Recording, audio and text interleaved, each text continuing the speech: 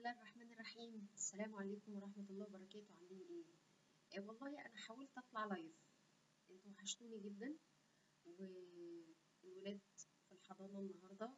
قلت أطلع معاكم live بس برضو في مشاكل في, في, في اليوتيوب.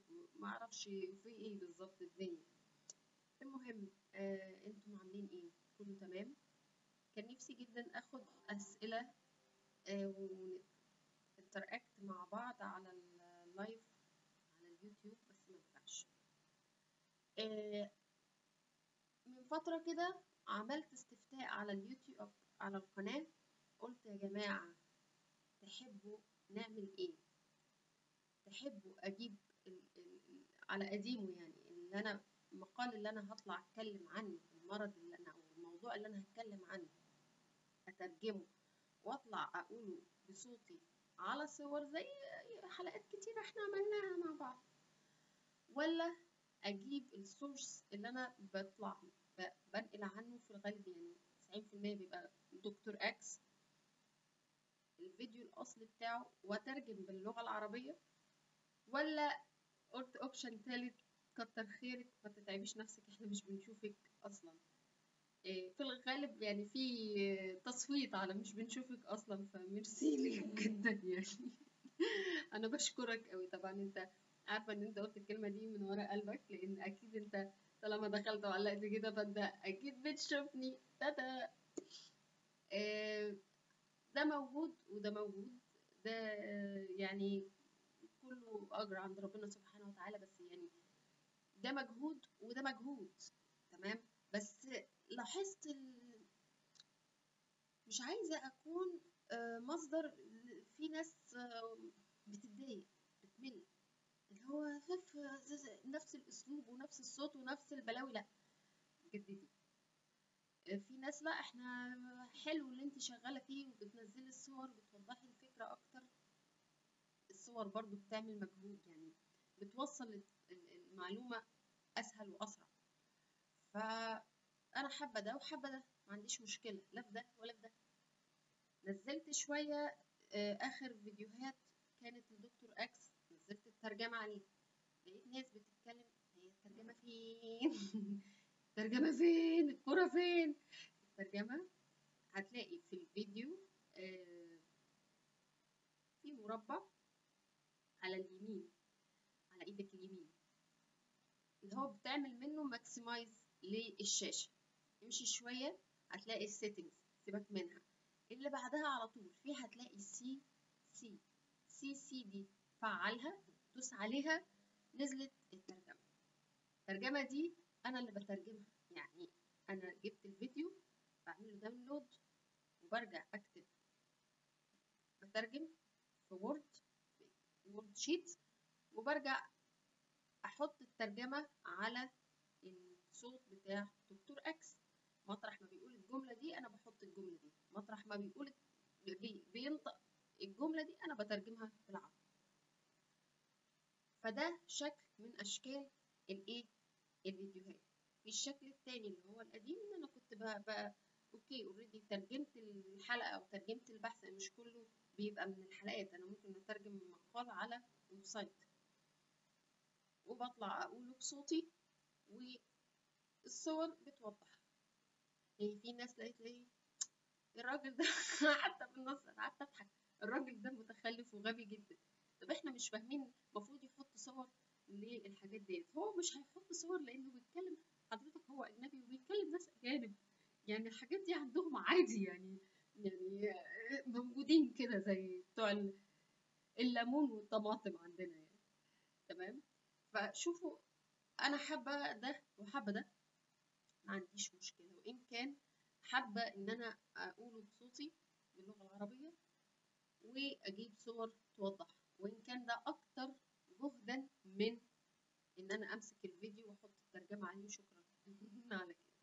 ده نقطة كنت عايزة أتكلم معاكم فيها لايف النقطة التانية آه نزلت حلقة عن تجويف الأنف النور جه في بالي وده كانت فكرتي في أوائل ألف يعني في آخر 2017 لما قلت لكم ندخل على 2018 وهابي والدنيا حلوة ورحمة الله عليها أمي توفت في آخرها ف يعني الموضوع حصل له بوستبون شوية وانشغلنا شوية في موضوع الأمراض. طب نشوف المرض ده طب نشوف المرض ده.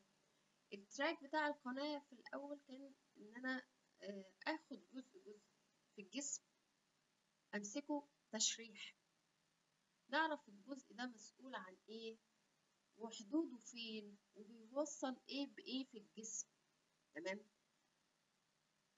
ف آه، جيت فكرت في الأنف.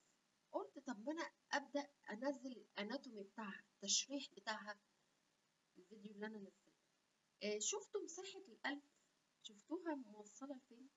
يعني أنا برضو من ضمن الناس اللي هو الأنف أنف. هي شكرا. خلاص. بس خلاص هي دي الأنف وخلصنا مفيش أي أي أنف تاني يعني في دماغي. المفاجأة. الأنف هي دي ظاهريا ده الأنف الخارجي. اللي جوه الانترنال مساحة متشعبة بشكل غير طبيعي. بمعنى ده الأنف من بره من جوه. حد يعرف إن في هنا جيوب أنفية؟ فوق الحواجب في جيوب أنفية اسمها الجيوب الأمامية. في جيوب أنفية هنا تحت الأوربت الأوربت يعني العظم بتاعت العين. تحتها في جيوب أنفية. وفي جيوب أنفية هنا وفي جيوب أنفية هنا في المنطقة دي. وده ده اللي اتقال في الفيديو. يعني الراجل قال إحنا مش هنتطرق لكل الجيوب الأنفية بس يهمنا دول. يعني وسكت. كان الله بالسر عليه يعني فين الباقي؟ يعني وقال حاجة. قال إن دي بوابة. لفين بقى يا معلمين؟ بوابة للمخ. دن دن دارارارا بوابة للرئة. المريء الرئة وللأمعاء أمين؟ طيب. وكل جيب أنفي بيبقى فيه وراه أنبوبة أو مسار بيوصل لحتة ما. تمام؟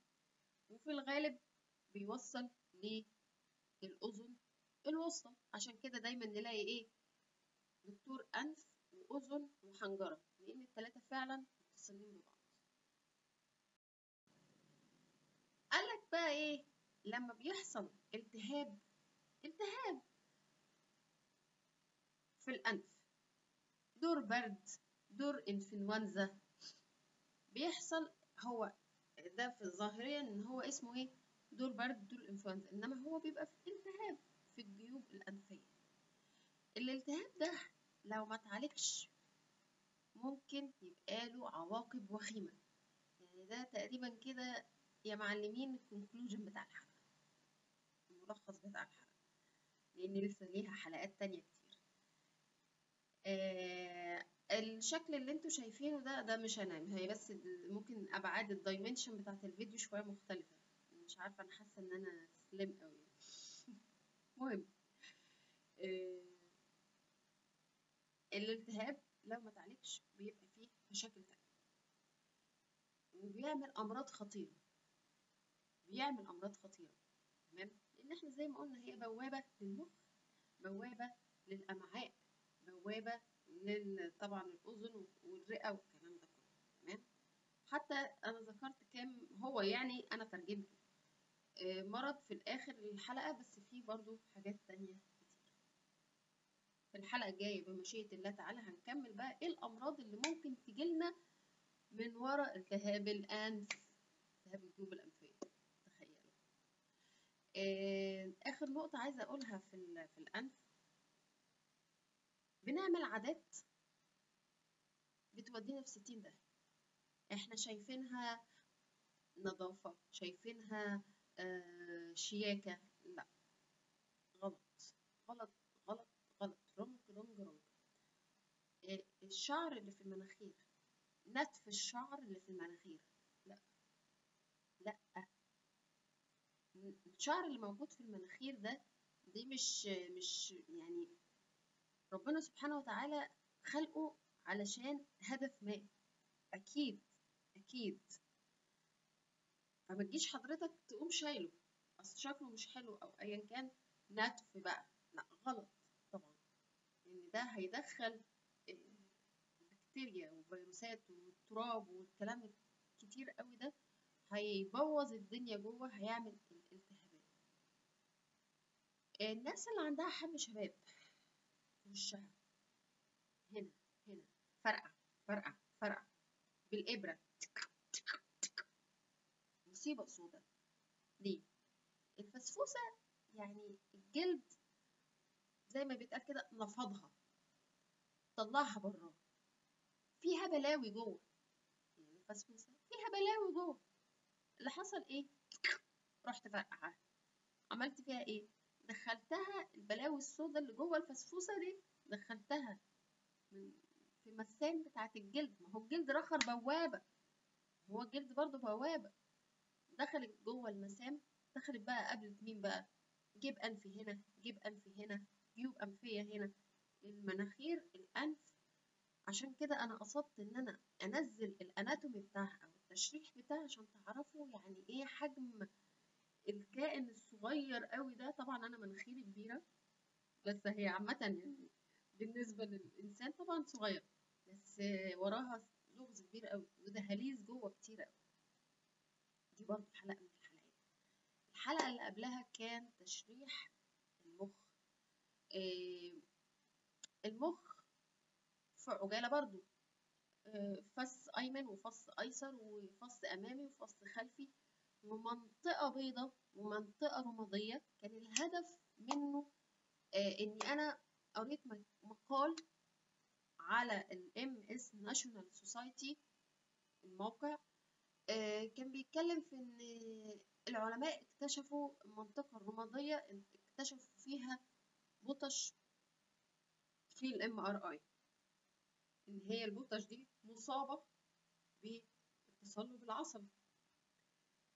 آه ما فهمتش هم فرحانين ليه الصراحة يعني بس هو تقريبا بيشجعوا الجهاز الجديد أو حاجة كده يعني. ما فهمتش الهدف من المقال. هتفرق معايا أنا كمتصلبة؟ هتفرق معايا البطش موجودة على المنطقة البيضاء والمنطقة الرمادية؟ خلينا مع الكذاب لحد باب الدار. المهم فأنا حبيت أوضح أصلا هو إيه المنطقة الرمادية وإيه المنطقة البيضاء آه وإيه تكوين المخ عامل إزاي؟ تمام؟ فده كانت آخر حاجة عملتها. طبعا التمرينات ال exercises اللي أنا نزلتها مفيدة جدا جدا وبأمانة الله أنا عملتها. لسه هننزل حاجات تانية كتير. فلا يعني أنا حاسة إن ال curve بتاع ال channel بتاعتي الحمد لله متنوع وفي نفس الوقت on track يعني كله بيصب في مصلحة الصحة العامة وصحة الجسم. يعني مهمة بالنسبة لي قوي قوي إن إحنا نقدر قيمة الكنز اللي إحنا موجودين فيه.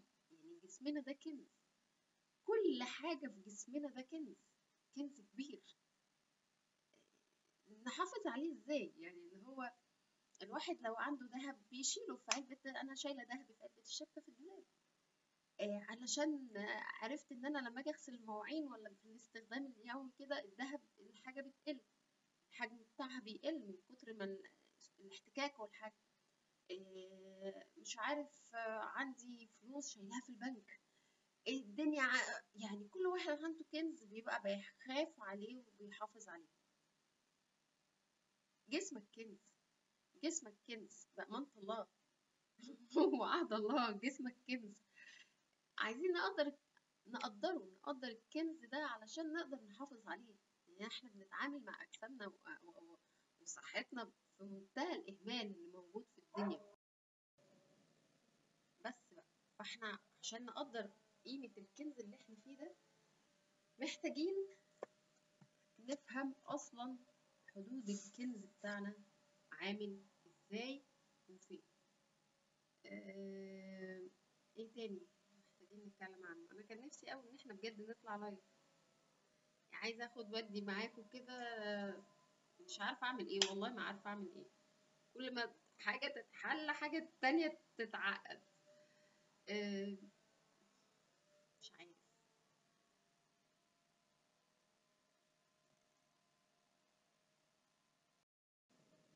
من ضمن الأسئلة اللي برضو اتسألتها شعري. أنا عندي داء ثعلبة. عندي داء ثعلبة عندي داء ثعلبة من أكتر من حد ستات ورجالة إيه رأيك في المنتج الفلاني اللي بيمنع تساقط الشعر نهائيا واللي بيعيد صحة الشعر واللي بيمنع الشيب نهائيا؟ طيب. مش عارفة أقولها إزاي. خلينا نتكلم بهدوء. الثعلبة في فرق ما بين الثعلبة كمرض وبين تساقط الشعر. يعني إيه تساقط شعر؟ أو إيه الأسباب؟ أسباب تساقط الشعر آه حاجات كتير. ممكن نقص زنك يعمل تس- تساقط شعر. آه دال يعمل تساقط شعر. فيتامين بي. الصحة العامة منيلة بستين نيلة. السجاير تعمل تساقط شعر. السكر والقمح يعمل تساقط شعر. الكدنيدة تعمل تساقط شعر. تمام؟ ماشي. يعني أنا لو بطلت الكلام دوت واهتميت بصحتي وخدت مثلا اللي ناقصني الدال لو كان ناقص ال- البي كل دوت هتصح أقول لك آه هيتصح هيبقى زي الفل وشعرك من نفسه هيطلع. حلو ده؟ طيب. أنا عندي داء ثعلبة عندي مرض ثعلبة. أجيب المنتج؟ لا. ليه؟ ثعلبة مرض مناعي. بمعنى جهاز المناعة بتاع سعادتك للأسف الشديد بيتعامل مع بصيلات الشعر بصيلات نفسها. على إنها جسم غريب وبيهاجمه. مرض بكتيريا فيروس أيا كان. أنا الهدف بتاعي ده أنا داخل أدمر ده. بصيلات الشعر يا حبيبي انت جسم واحد. ده أنا هد- هدمره. أنا شايفه عدو. مش حبيب. ده أنتوا أصحاب. أنتوا في نفس الجسم. يبقى مش إزاي بقى أطلع شعري؟ لا السؤال يكون إيه؟ هو جهاز المناعة بيعمل كده ليه؟ أصلح جهاز المناعة إزاي عشان ما أعملش كده تاني؟ This is the question. اجيبه كده واصالحه واخده بالهادي انت ليه بتعمل معايا كده؟ طب تعالى اصلحك. تعالى نقعد مع بعض نتصافى انت زعلان مني. زعلان مني في إيه؟ قصرت معاك في إيه؟ ما بنامش كويس؟ حقك عليا. بشرب كحول سجاير أه باكل أكل fast food بشكل ابن لذينة أه stress طول الوقت ونرفزة وضغط عصبي و... وبغل وبحسد وبحقد وبتخانق وبستفز بمنتهى السهولة فكبدي بيوجعني؟ طيب ده أنا كل ده أنا بعمله. ده اللي مزعلك؟ آه. حاجة تانية؟ آه. ممكن تكون عوامل وراثية. يعني الفكرة برضو أمراض المناعة الذاتية عامة محدش يقدر يقدر يجزم إيه السبب. وإن كنت مش مقتنع بحاجة اسمها أمراض وراثية. يعني برضو من ضمن الحاجات اللي أنا توصلت لها مفيش حاجة اسمها وراثة تمام؟ لأن إحنا لو مشينا بقى في موضوع الوراثة ده يبقى إحنا نوصل لسيدنا آدم إن هو كان عنده برضو مرض فورث بقى الخليقة الخليقة كلها. مفيش حاجة اسمها وراثة. في حاجة اسمها تمحور جيني. تعديل في سلوك جين معين أدى لظهور المرض في العيلة دي العيلة دي اللي هي الأسرة دي اللي بعدها اللي بعدها. لكن مرض وراثي وراثي دي كلمة كبيرة أوي. هو تمحور جيني خلينا في تمحور جيني أحسن. وليه حل؟ يعني ليه حل؟ اللي خلى ال- ال- ال- الجين ده يتمحور على إنه جين سليم يبقى مصاب؟ لا أنا ممكن أصلحه تاني. يعني ما- مش نهاية الكون. مش نهاية الكون خالص خلي في بالك يعني. فمرض مناعي معناه إن المناعة عندي بتصيب جزء ما في الجسم. أنا حتى طلعت قبل كده في حلقة وشلتها إن أنا كنت بتكلم فيها بمنتهى القسوة وزعلت لأن كان يعني تمسني شخصيا. مرض مناعي ممكن يصيب الأسنان يصيب اللثة. اللثة فاللي هو بيتعرف على الأسنان على إنها عدو إرمي. مرض مناعي يصيب بصيلات الشعر فتلاقي حالات الثعلبة ظهرت. والثعلبة بس مش في الشعر ده الشعر وفي الوش تلاقي اللحية الرموش الحواجب جسم الشعر للرجالة. ثعلبة إرمي. مش متعرف على بصيلات الشعر. المرض زي ال MS المناعة هيضرب في الجهاز العصبي. روماتويد اضراب لي مفاصل إيه dermatomyositis اضرب لي جلد طب هو كان إيه اللي حصل؟ تمام؟ طيب هل الثعلبه لو أنا مثلا سبت نفسي خلاص قدر الله ما شاء فعل أنا عندي ثعلبه وشعري وقع. للرجاله طبعا يعني بتبقى مأساة بالنسبة لواحدة ست. شعري وقع. خلاص كده مش مشكلة أنا راجل يعني هيفرق معايا إيه؟ حتى دلوقتي الموضه عادي إن رجاله كتير وشباب كتير قرع مش حكاية. ستيل عندك المرض. يعني المشكلة مش بس إن أنت شعرك وقع لأن خلي بالك ده مرض مناعي. يعني أنت مناعتك مش مظبوطة ومش بس بيأثر على الشعر يعني برضه هنعمل حلقة للثعلبة مفيش مشكلة إن شاء الله. إيه الثعلبة على ما أتذكر كانت شعر وضوافر. طبعا صعب أوي إن ما يبقاش في حد يبقى حد عن ما عندوش ضوافر دي. يعني أكيد الضوافر مهمة أكيد أكيد. فالفكرة كلها إحنا ليه أمراض المناعة الذاتية ظهرت؟ واتكلمنا حتى فيها قبل كده كان شق بيئي وشق آه تغذية. وشق تمحور جيني مش مقتنعة بحاجة اسمها أمراض جينية أو وراثية قصدي. هي تمحور جيني في جيل ما معين أدى لظهورها في الجيل اللي بعده. عشان كده بقول الحلقات دي أنا شايفاها بوجهة نظري أنا. كنز ليا ولولادي من بعدي وليكم ولولادكم من بعدكم أتمنى من الله يعني ده ده ده مش عارفة أقولها لكم إزاي. ربنا سبحانه وتعالى خلقنا الهدف. خلقنا الهدف.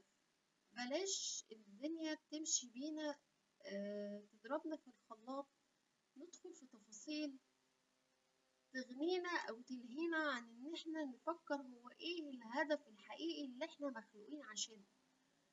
يعني حد فكر كده خد وقته وبعيدا عن ضغط اليوم والعيال هتاكل إيه ويروحوا المدرسة بالدروس والفلوس والدنيا والصرف والهدوم والصحة. طب مين هيروح معاه المستشفى؟ طب مين هيعمل؟ طب طب طب طب. حد فكر إيه الهدف اللي إحنا مخلوقين علشانه؟ وهل إحنا ماشيين في ده ولا الدنيا تلاهي؟ يعني by the way أنا حابة إن أنا أتكلم معاكم والله أنا مش عايزة أقفل وكان نفسي فعلا كانت الحلقة دي تطلع live آه صلة الرحم ده هدف ربنا سبحانه وتعالى خلقنا عشانه. آه الصلاة طبعا والزكاة والزكاة الزكاة يا جماعة الزكاة. ومش الزكاة مش بس فلوس الزكاة مش بس فلوس فلوس. وصحة في إن أنا أقدر أساعد حد. ليه لأ؟ يعني أنا نازلة كده كده مثلا من الميكروباص. عقبال ربنا ما يفتح علينا كمان ويبقى عندي عربيه بالميكروباص لقيت واحدة ست أنا تعبانة. ممكن عضلات إيديا ما تبقاش مساعداني. آخد منها شنطة من ضمن الشنط اللي هي شايلاها. آه حاجة بسيطة بس احتسبيها عند ربنا أو احتسبها عند ربنا وخصوصا الرجالة. أنتوا بتمشوا ولا كأنكم شايفين. إيه صباح العسل.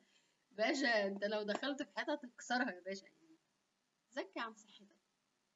زكي عن مالك لو معاك مال. يكشي بربع جنيه. زكي بابتسامة. إن أنت تبص في وش مراتك تقول لها كلمة حلوة دي دي, دي صدقة. يعني you know دي صدقة. إنك تطبطب على ابنك الصبح قبل ما تنزل الشغل أو بنتك تاخدها في حضنك دي صدقة. ربنا يديلك عليها أجر. آه، إيه تاني؟ العلم. عندك معلومة ولو معلومة يعني بس تكون متأكد منها الله يستر. وشيرتها مع حد عملت لها شير بلغة ال- ال- ال- المواكبة للحياة. صدقة. احتسبها بصدقة. زكاة علم زكاة مال. زكاة آه، مجهود. آه، زكاة يعني في في في حاجات كتير يا جماعة. بلاش موضوع يلا نفس الموضوع ده صعب أوي. الموضوع مش تمام. نرجع لمرجوعنا تاني. آه، الثعلبة مرض المنتج النهائي ومفيش حاجة اسمها العلاج الشيب نهائي. شيب إيه؟ أنا آسفة والله العظيم أنا ما بحبش. يعني أنا لساني طويل شوية بس ما بحبش أتكلم بطولة لسان في شيب إيه؟ انت اللي شايبة وعايبة شيب إيه؟ شيب إيه؟ هي معروفة لو إحنا شعرنا ابيض الستات بتصبغ والرجالة. وهيطلع شا... شايب. انت كده بت... بت... بتغيري حاجة جوه. هي دي ناموس الكون. هو الإنسان بيكبر زي ما الخلايا بتاعته بتكبر وبتشيخ والخلايا بتموت. هي هل أنا جسمي وأنا عندي 34 سنة. في نوفمبر الجاي هبقى 34 سنة. الخلايا بتاعتي هي الخلايا بتاعتي وأنا عندي سنة سنتين عشرة خمستاشر سنة. أكيد لأ. أكيد لأ. أكيد في خلايا تانية طلعت والخلايا القديمة ماتت. ده طبيعي. دي سنة الحياة. دي سنة الحياة. نفس الحوار. الخلايا اللي في, في, الدماغ في الشعر الكلام ده كله. في أسباب لظهور الشيب المبكر. لكن إن أنت تمنعي الشيب خالص إنه يحصل واحد عنده 60 سنة 70 سنة تكلميني على أكله. كلميني على الظروف اللي هو عايش فيها. كلميني على الضغط العصبي والنفسي بتاع اليوم. اضمني لي كل دول وأنا أقول لك ساعتها مفيش شيء لكن واحدة طالع عين اللي خلفوها في الدنيا وفي الهم ده كله في الآخر تقولي لها نهائي مفيش شيب لا لا يبقى أنت هتدخلي هنا كيمياء. يبقى أنت تحت الجلد. دخلتي بقى زفت أسفلت طين قطران أي حاجة من الحاجات البلاوي السودا دي اللي تخلي ما عنديش شيب لا أنا أحب أموت موتة لا أنا أحب لا لا مفيش حاجة اسمها وداعا للشيب النهائي مفيش حاجة اسمها يمنع تساقط الشعر مفيش حاجة اسمها كده. ليه؟ ليه أعمل في نفسي كده؟ طب ما أنا آكل كويس وأتغذى كويس و برضه سؤال قصاي بيري آه هو مش بتاع شريف محمد نجم. هو إيه الشركة لو أنتوا ركزتوا في رقم التليفون هتلاقوا رقم التليفون هو هو بتاع اللي بيعلن عن مفك المعجزة هتلاقوه بيعلن عن الخرطوم ال- السحري الكلام ده كله. هي بتبقى شركة اسمها إيه؟ عارفين الناس اللي بتشتغل في الهدوم أو كده بيقول لك أنا جايب بالة من بره. بالة يعني إيه؟ container أو بالة هدوم عاطل على بطل هدوم حلوة يعني هدوم سنية على هدوم فرز سابع وهدوم فرز أول والكلام ده كله خدها على بعضها بقى. نفس الحدوتة هو برضو تاجر بيجيب المنتجات ديت وبيعرضها عنده في التلفزيون تمام؟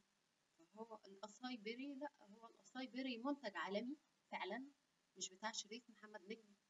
آه، التوت البري ده حقيقي. التوت البري وال psyllium والكروم كل الحاجات دي بتعمل على التخسيس لكن برضو ما ينفعش تتاخد بشكل عشوائي. ينفعش لازم يبقى فيه معرفة بالتاريخ المرضي بتاعك انت. عندك قلب عندك سكر عندك ضغط. حجمك قد إيه؟ عايز تنزل قد إيه في مدة قد إيه؟ يعني الموضوع ليه حسبة بالورقة وبالقلم؟ قاعد مع مختص يشرح لك الدنيا دي كلها لكن هو منتج مفيش أي حاجة اسمها أنا منتج آمن كده على طول لله في لله لأ ما أعتقدش إن مش نافع يعني. مش نافع. المكملات الغذائية آه، كثر الحديث عن المكملات الغذائية إن المكملات الغذائية دي حاجة crap مفيش حاجة اسمها كبسولة فيها كل ال multivitamins الموجودة طب إيه الحل؟ برضو الناس قالت إيه؟ لأ نشوف إيه العنصر الناقص سواء فيت- فيتامين سواء معدن سواء حمض إيه اللي ناقص ونعوضه بده؟ يعني أنا ناقصني مثلا نسبة هيموجلوبين. نسبة هيموجلوبين دي طيب في تحليل اسمه تحليل مش فاكرة اسمه اللي هو الحديد يقيس الحديد في الدم. لقيت نسبته قليلة خالص يبقى أنا هاخد حديد كمكمل غذائي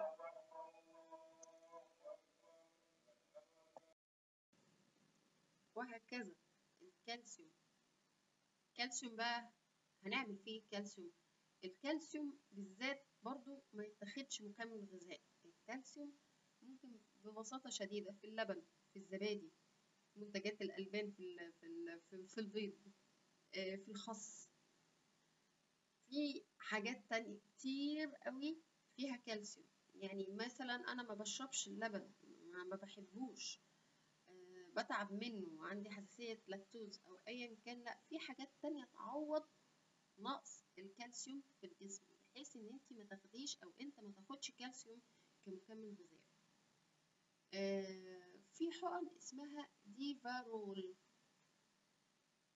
فيتامين د ألفين ميتين ألف وحدة ميتين ألف وحدة للناس اللي بتعاني من نقص في فيتامين د أو الناس طبعا المرضى اللي زي حالاتي مرضى المناعة الله أعلم أنا عندي إيه.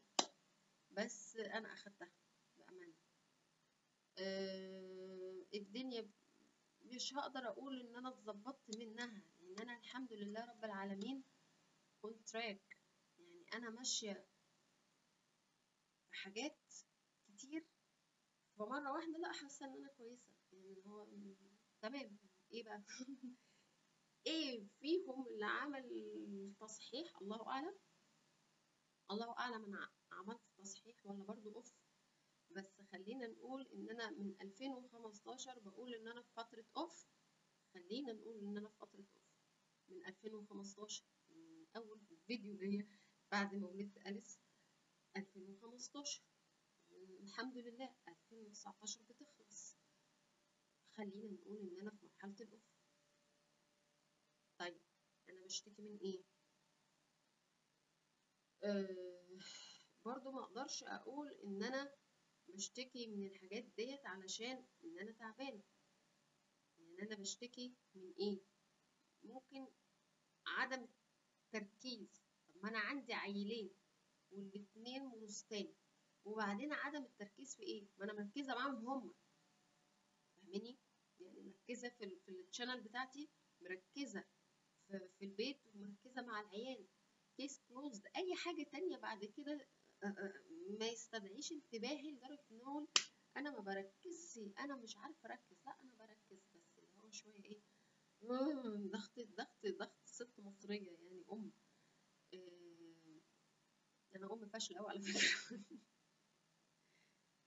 نفسي يعني الحمد لله. تمام؟ ف رجليا الحمد لله ما عنديش مشكلة في جسمي خالص نهائي. ما عنديش مش... مشكلة في معدتي. أعصابي تمام. مفيش أي مشكلة خالص نهائي. مفيش أي حاجة خالص. دوخة لسه مازالت الدوخة موجودة. الخسسان أنتوا كلموني قولوا لي قولوا لي يعني الدنيا رديت شوية عن آخر مرة طلعت طلعت فيها لايف ولا لأ. طبعا الحمد لله أنا فطمت فريد الدواء بتاع دكتورة سمر العمريتي ما أخدتوش. لأني جبت الدواء فيه دواء معين مش هقوله. أحمد كان ممانع بشدة إن أنا آخد الأدوية. قال لي انت كويس. قلت له ما هي كده كده موجودة. يعني هتترمي؟ انت كويسة. بلاش بلاش. بأمانة ربنا أنا ركبت دماغي. قال لي خديها بس بحذر. قلت له أنا باخدها زي ما هي كاتبة في روشتة يعني. مفيش مشكلة. فتعبت جدا وجات لي رعشة في جسمي غير طبيعية وعرق وكنت بموت. كنت بموت. كان ساعتها هو في الشغل. آه، فقال لي أنا قلت لك ما تاخديش وخد الدواء كله وخلاص اترمى. يعني فأنا ما خدتوش. أنا ما خدتش الدواء بتاع دكتورة سمر العمريطة اللي ما كانش شاف الحلقة. أنا مع آخر حاجة إن أنا المفروض كنت MS ولا لا بعد كده قالوا لا انت ما عندكيش MS دكتورة سمر العمريطي آه، قالت إن أنا عندي dermatomyositis والدرماتومايستايتس قالت إن سببها التهاب في الجيوب الأنفية. عشان كده أنا حطيت التشريح. واللي تم إهماله يعني الموضوع كان معاها من بدري من سنين وده حقيقي. آه وتم إهماله والدنيا تعكت أكتر و و و و. بضيف على كلام دكتورة سمر العمريتي إن مش بس حصل مشكلة في الالتهاب وخلصنا على كده لأ أنا كنت مهملة جدا. أنا كنت بجيب القطرة اوتروفين وال اسمها الزفت التانية بروزولين ليل ونهار بحط في القطرة أرجوكوا بلاش حد يستخدم قطرات انف بلاش بخاخات الانف بلاش بلاش. ما بتريحش بخاخات الانف ما بتريحش. ترتاحي for while ترتاحي لمدة ست ساعات. ترجع تاني تاخدي. المسافة بقت اتنين تلاتة ساعة نص ساعة. بقت معايا في إيدي. ليل ونهار ليل ونهار. وبقيت أحط وما بقتش تتأثر خلاص وبقيت عصبية ونرفزة وحاجة بلاوي تمام؟ فنو نيد بلاش. آه كانت قالت إيه كمان؟ يعني بس هو كانت كاتبالي أدوية أنا ما أخدتهاش أخدت منها فيتامين إي ألف. آه كانت كاتبالي على Vidrop آه أرفع الكوباية على يعني أرفع الإزاز على نص كوباية مرة مية كل أسبوع مرة في الأسبوع يعني. آه كانت كاتبالي طبعا حقن فيتامين فيتامين B 12 آه كانت كاتبة على الدواء المصيبة اللي أنا مش هقوله مش هقول اسمه. آه هو جدول على فكرة يعني ممكن الرجالة كتير بياخدوه يعني عمال على آه إيه تاني؟ كانت كاتبالي دواء مناعة كاتبة بون وان. بس دي الأدوية اللي كانت كاتباها وده كان ملخص تقريبا للفترة اللي فاتت. أتمنى يكون في أي معلومات طلعتوا بيها من الحلقة. الرغي الكتير اللي أنا برغيه دوت أنا مش عارفة أفدتكم ولا صدعتكم وشكرا جزيلا وإن شاء الله مستنية طلباتكم وبمشيئة الله نمسك حتة حتة في الجسم ونفصصها ونقول اللهم لك الحمد والشكر على نعمتك. السلام عليكم.